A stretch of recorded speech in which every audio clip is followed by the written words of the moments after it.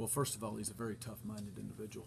Um, he is, um, and if he wasn't, he wouldn't have been able to do what he did as a young 18-year-old, you know, in Auburn, Alabama, 2011. He's uh, he's very strong-minded.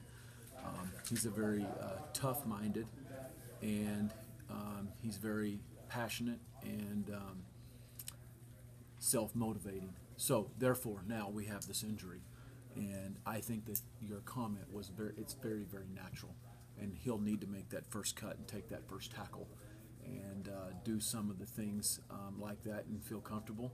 But this one thing I do know, they did not hurt his mind, and they did not hurt his arm.